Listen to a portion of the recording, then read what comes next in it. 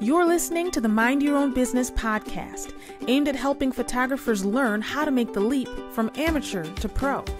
Hello, and welcome to the Mind Your Own Business podcast, a joint effort brought to you by PhotoFocus and Skip Cohen University. This is Chamira Young, and I'm joined by my amazing co host, Skip Cohen. Skip, how are you? Wow, it took me a whole year to get to amazing as my adjective. I, I appreciate that. It's so true. Have Yeah. I used it before? Oh, I don't think Very fitting. No, and I and and I just all I can say is thank you for thinking I'm still amazing when so often I've described you as making me sound better than I than I deserve. Um, for those of you that haven't figured it out, um, Chamira is the queen of the nerds. and She is Yes. the geek behind us that makes this whole thing work every single time. So Well, Um, thank you. I appreciate your the skills you have that I never bothered with. So we have a great show today, and I guess it's. Do I get to introduce our guest now, Yes, please. as we've done Let's all do year it. long? Yeah, we have the perfect guest to wrap up 2020's podcast series. Uh, Tom Curley joins us today, and what a background he's had to date, and is still having. He and I have worked together for years, going back to his Fuji film days, and then Panasonic Lumix and the Ambassador Program, and now into the world of travel photography and education. He's one of the most approachable guys in the industry, always there to help artists raise the bar on the quality of their business. It might be marketing, and sometimes it might even be uh, their skill set in terms of how they're shooting and what they're doing. Best of all, he loves imaging. And while he doesn't earn his living as a working photographer, he's built a brand based on everything else it takes for a stellar reputation and stay focused on the end game instead of everything that gets in our way all the time during the process. He's also my best example of what I love most about our industry. It's the friendships that come out of everyone's love for the craft. So, hey, buddy, if I haven't screwed something up technically that Chamira will have to fix, this is the cue for your lips to move. Welcome to Mind Your Own Business. Well, thank you, Skip. I am thrilled to be here today. I love this show. Uh, thank you, Chamira. Uh, I'm not sure what makes me the perfect guest, but thank you anyway. it's uh, great to be Well, here. I'll tell you what makes you the perfect guest. It's the diversity in your background and the number of photographers you have worked with over the years um, that that appreciate everything you've ever done, and even a few out there that maybe didn't appreciate it at the time, but sure did later on. I mean, you really have been a, a, a tremendous help to so many people in this industry.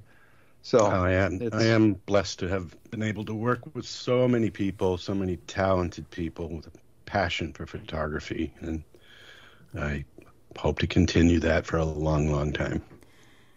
It And- works for us. You know, Tom, everybody in the in the industry speaks so highly of you, and that's got to be for a reason, right? You know, that's why we're so excited to have you on the on the show as our guest today. And Skip mentioned the diversity in your background, and you know, I want to kick us off with your with our favorite first question about your background. Can you tell us how you got started in the photography industry? Well, sure. Uh, like so many of us in the in the industry, we started off with a camera in our hands, probably on the uh, you know the high school yearbook um, committee as the photographer. That was me. I knew I loved photography at the time and um, planned to go to college to pursue an education, but wasn't quite sure I wanted to be behind the camera uh, as a the primary objective. So I got into the the both the science and the business management side of it. So I knew I would be um, involved in the photo industry, uh, if not taking pictures. Uh, what I ended up doing uh, was getting a degree in uh, photo finishing technology.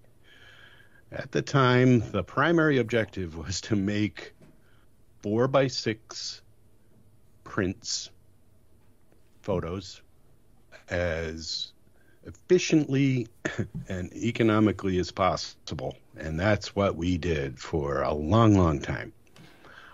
Think about it now. When's the last time you had a four by six made? uh, maybe, maybe we have, but uh, most people these days aren't printing like we used to. Remember twin prints? You got two four by six prints with every exposure on your roll of film. Okay, well, anyway, enough about that. Obviously, I had to pivot, um, and I did. Um, kind of fast forwarding really quickly here. Uh, what I found is that um, with the dawn of digital photography, uh, I saw something on the horizon that I couldn't quite put into focus, and that was the tech side of it computers. So I started early on, and it wasn't cheap. I remember my first uh, desktop computer. Uh, I think it cost me three thousand dollars, and it might have had a twenty uh, megabyte hard drive.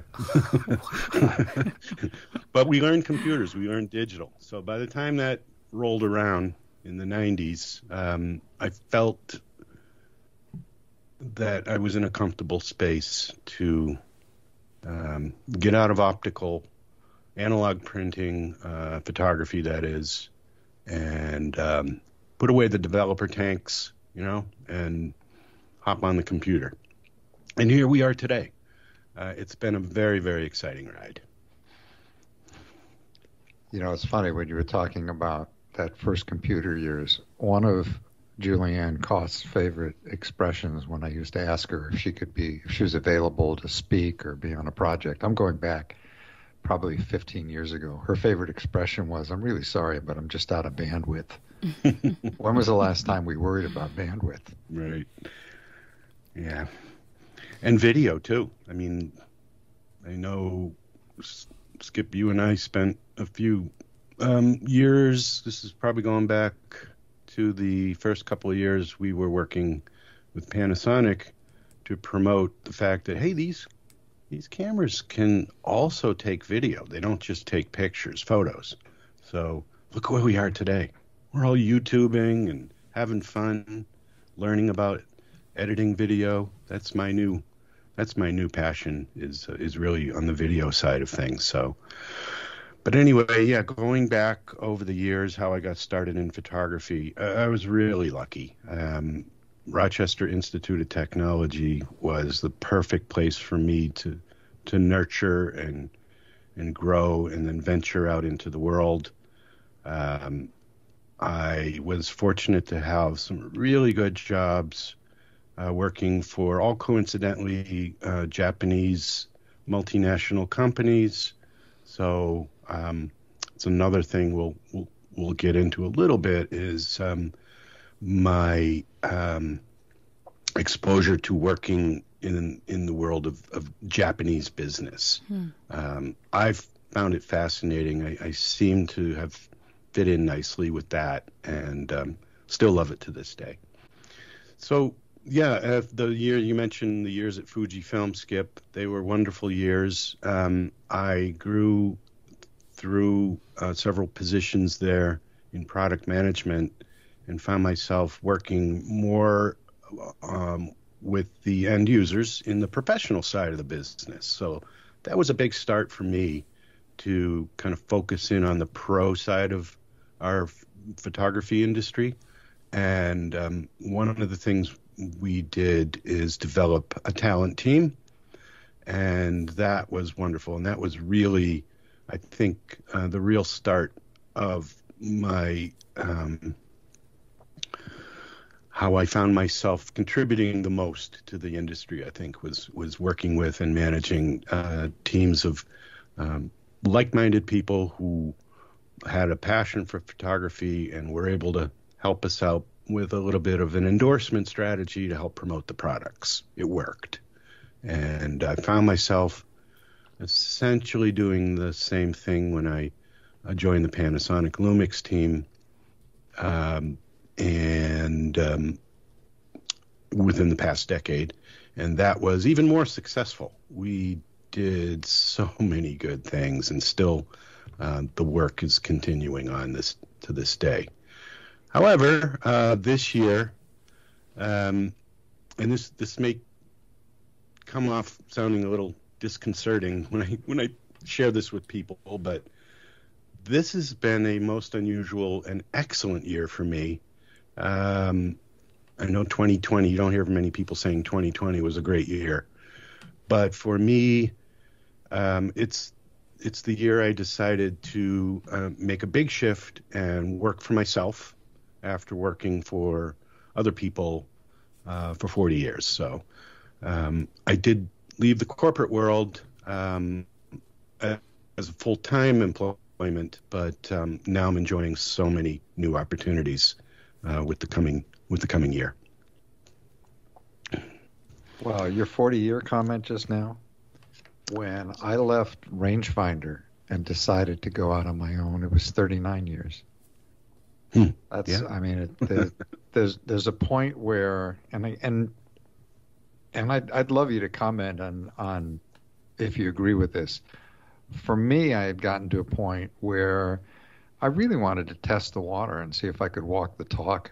I mean, I mm. I, I had worked with so many photographers and so many businesses and WPPI was doing great, and people thought I was insane to leave in 2009 because it was at that time a horrible depression, de- depressive um, economy. Mm-hmm. And how in the world are you going to give it up? But I just wanted so badly to see if I if I could do it. And I remember Sheila saying to me, "What are you afraid of?" And I said, "Failure." And she was the motivation to help me stay focused on all right what are you going to do now if let's let's take the leap of faith so i'm i'm i'm curious about what you went through in that process and you and i had had a few conversations over the over the last year when you were thinking about making a change mm-hmm.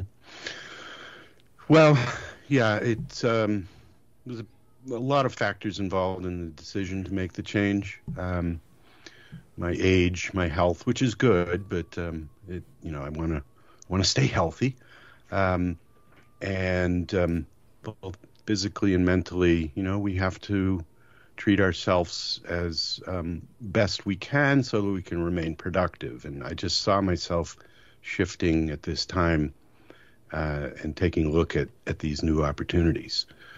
But this year, um, again, the timing was. Uh, kind of unusual, but in my favor. Um, I I left the corporate world mid-year, and now here we are, sitting at home.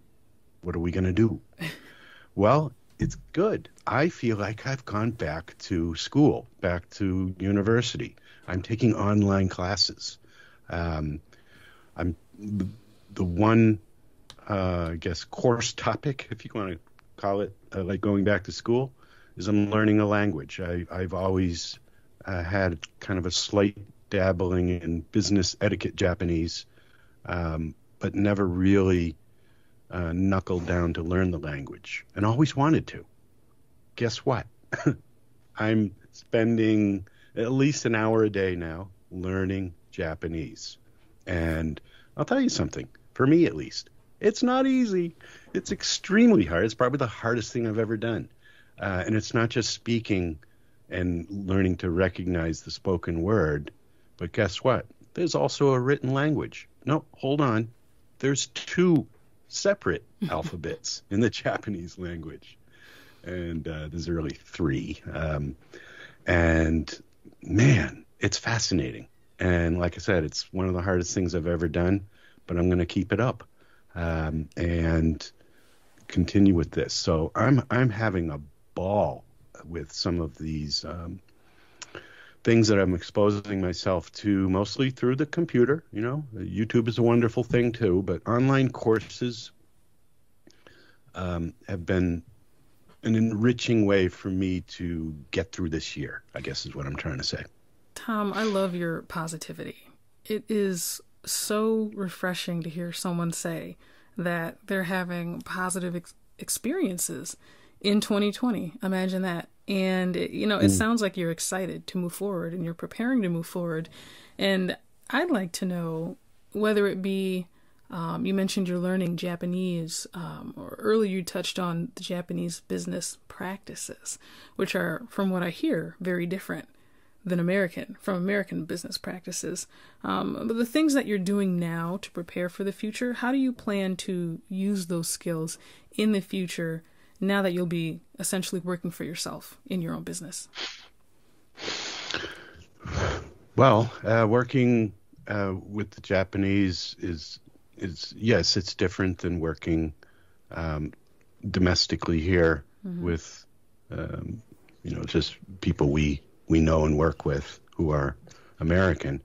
But I think uh, any any country, any culture is going to have its unique um, styles and customs, and it doesn't take much to learn them. Um, I think in any in any culture, let's take Japan for example, working with Japanese either here in the USA or in Japan or or anywhere, you just have to recognize that um, you have to respect their culture and not come you know blustering in and make social faux pas um, that would be embarrassing to to them and to you. So it's just learn a few things. It's not that difficult. The classic example is um, in Japanese business culture is the um, sharing of business cards.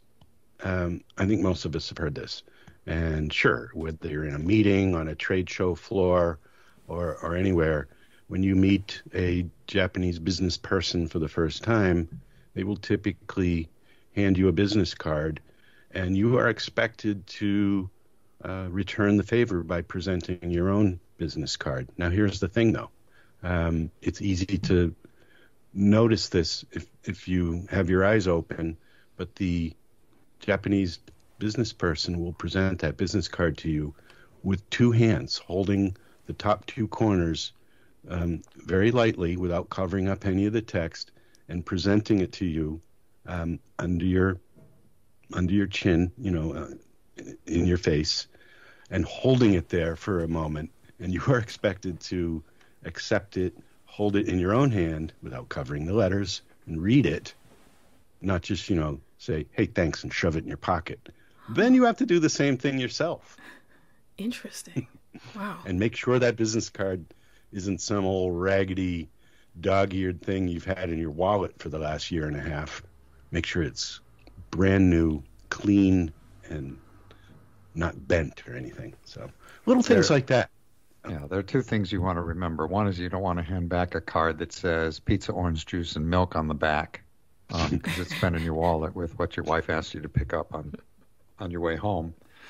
But I mean, I, I fell in love with my first trip to Japan in '81 and wound up with about 10 trips over the years between Polaroid, a couple with Hasselblad, and I'm hoping one more because I want to get Sheila there. But on the business card thing, and this is kind of funny, Shamir, because you don't you don't realize it. I had my cards. Obviously, I had my Japanese card, um, which said everything my English card did, but also my middle initial was printed, um, so I recognized it, which is B, because it's the only way I would know which way to hand the card back with two hands.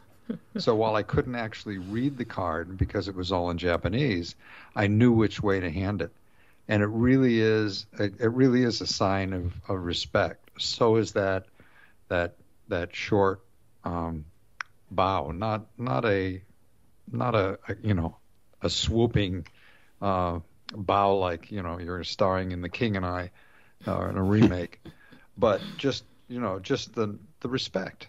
Yes, and it's it's a very it's a very cool thing because you look at um, to me always it was the Japanese the leaders in technology, but at the same time committed to 2,000 years of samurai slash business history in terms of the way they did things. It's, it really is pretty remarkable.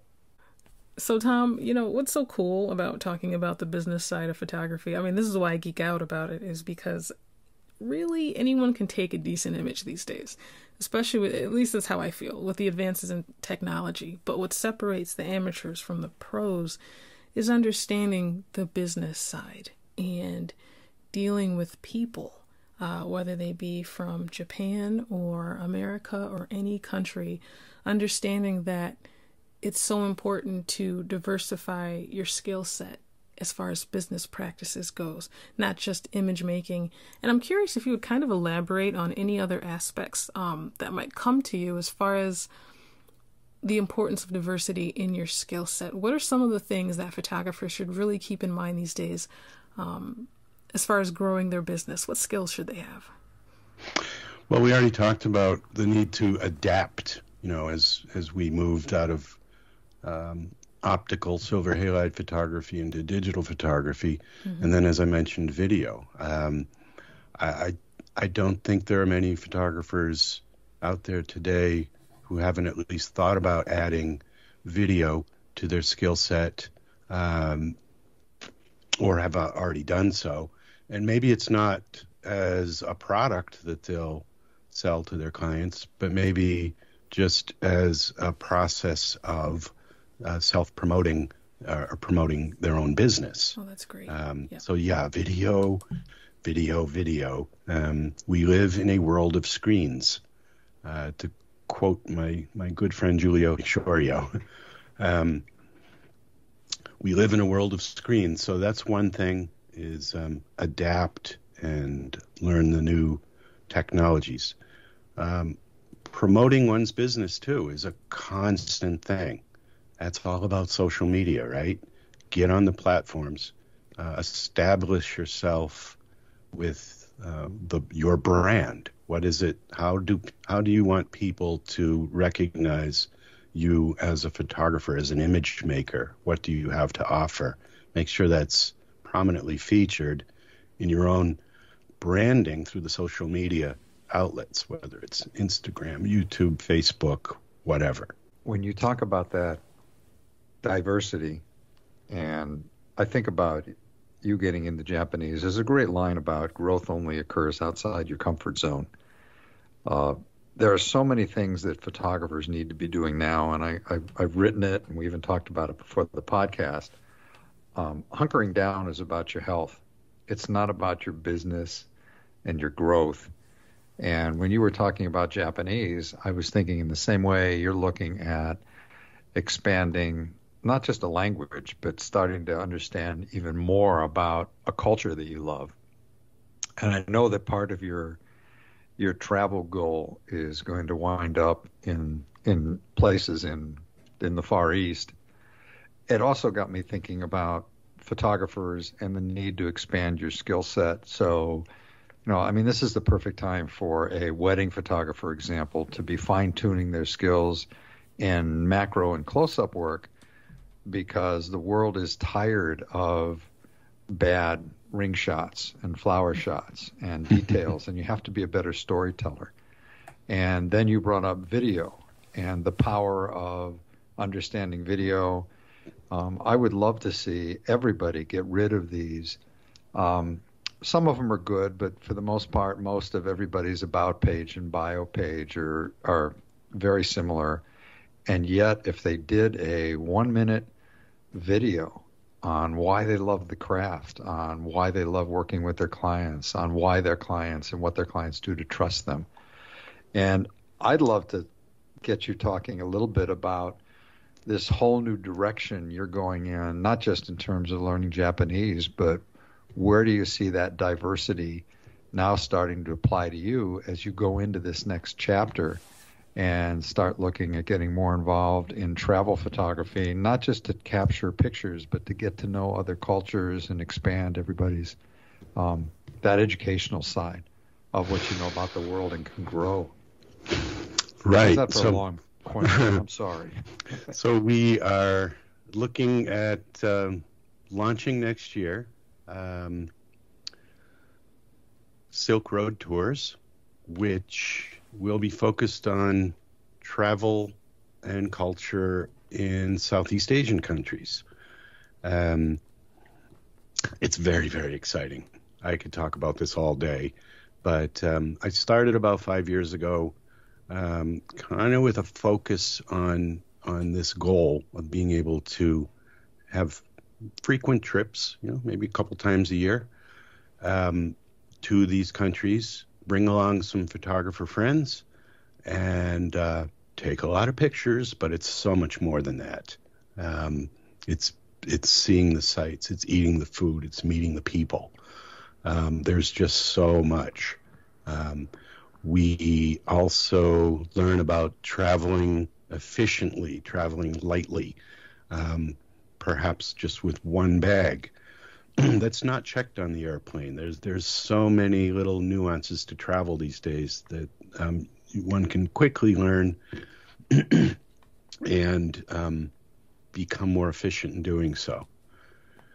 Then there's the camera equipment. Traveling light uh, means small compact cameras. Well, guess what? We have those these days. We don't have to lug around the big camera unless we want to. There's a lot of choices out there, but learning what those choices are and how to utilize them most effectively and efficiently while traveling super light. Um, so, yeah, the travel part of it with photography as a focus is really exciting. Um, the three countries we're focused in on the most are Vietnam, uh, Cambodia, and Thailand. Um, not to mention Japan, of course. Um, there's a little bit of a difference there in, in the realities of travel. Japan's a very expensive country.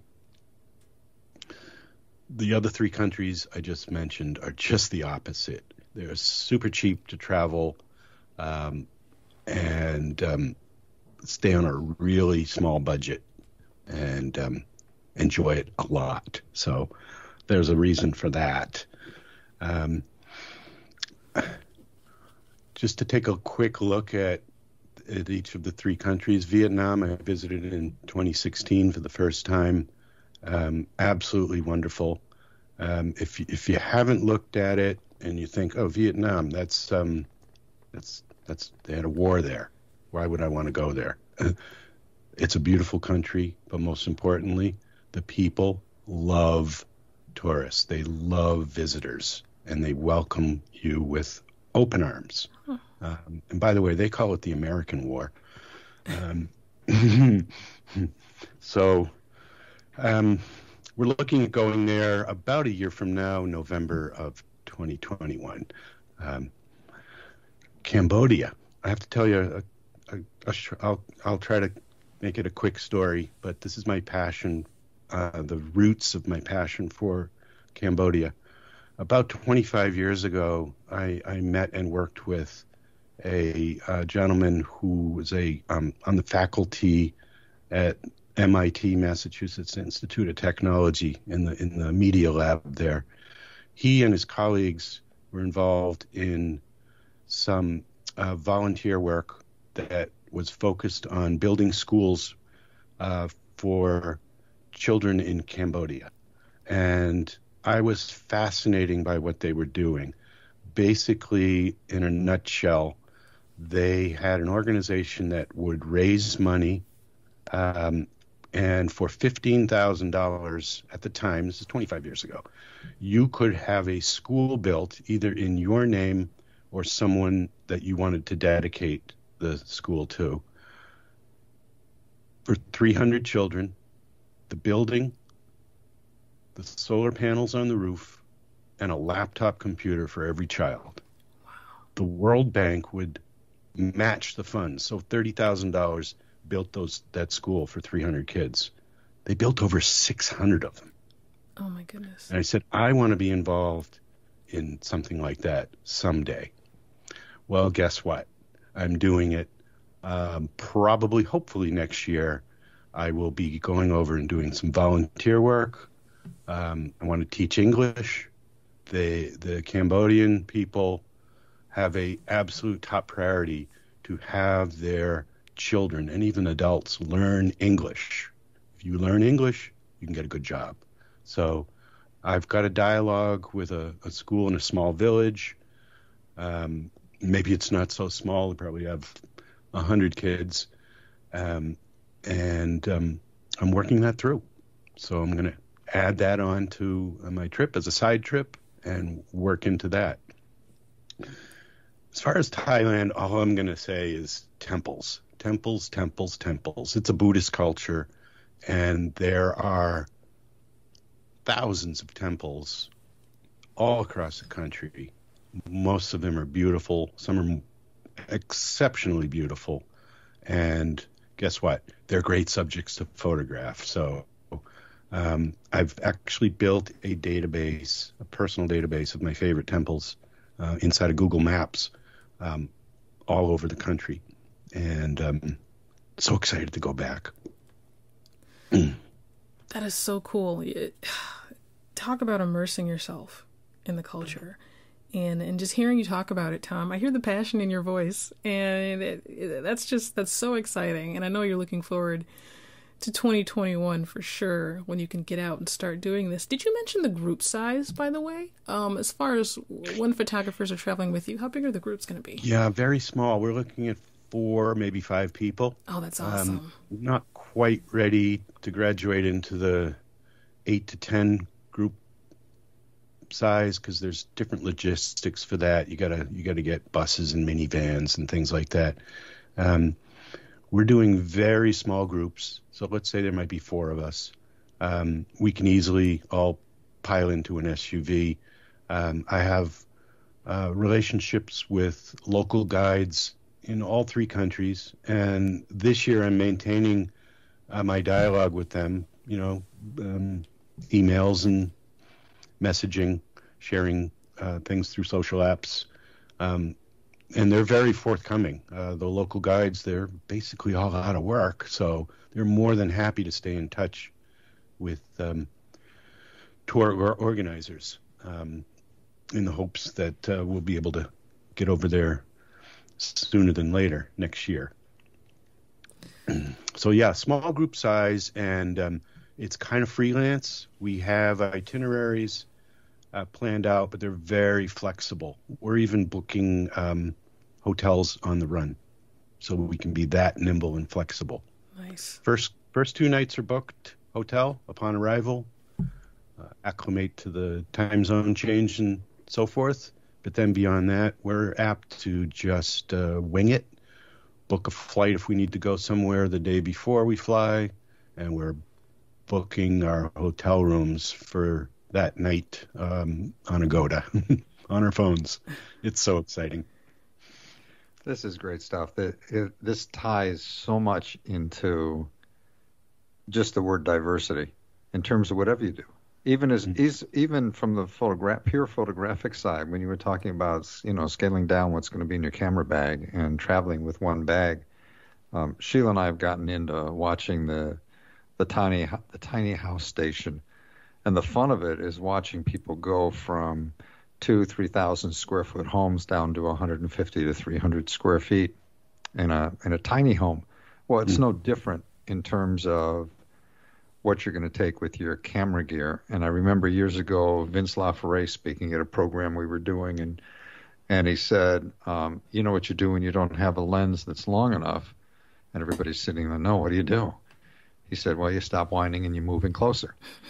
so, understanding your camera gear um, so that you can go on a trip like this and still get great results and and know what you're doing. I mean, it all ties together.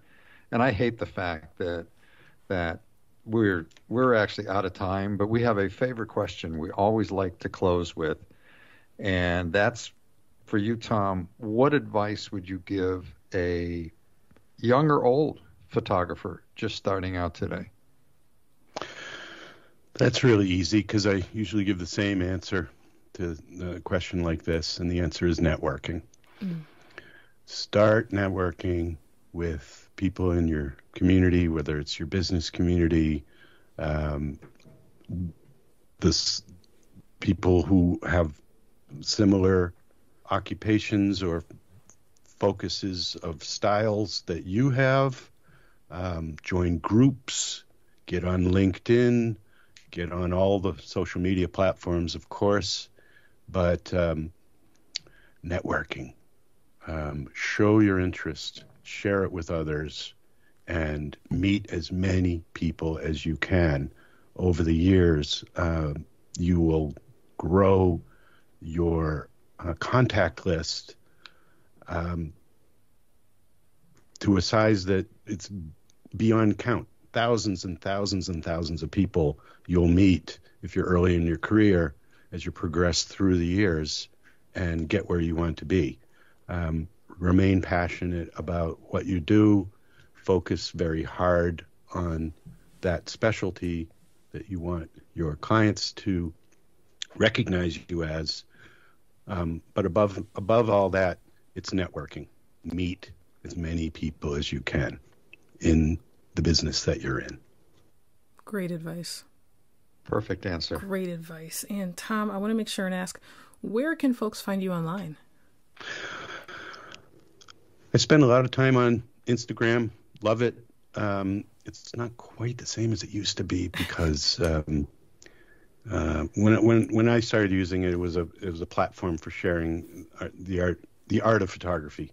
Uh, now there's just way too many food pictures, and uh, if I see one political post, it's goodbye. Uh, oh. So yeah, I'm T Curley one, the number one T Curley one at Instagram. Um, I'm on YouTube. Love making those videos. Um, T Curley there. Uh, T Curley on Twitter as well.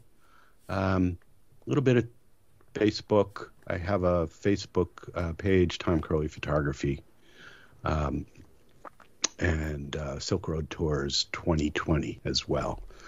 So, yeah, love it, and uh, love to connect with people. Um, I'm always available. You can reach me through any of those platforms, and I'm always available to connect with just about anybody.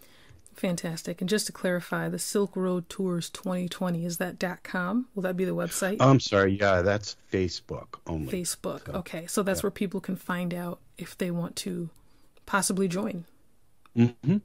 one of your tours. Follow along. We're sharing a lot of uh, links and cultural items that um, we find of interest there too. Excellent. We'll make sure to include that in the show notes for sure. And Skip, where can folks hunt you down online?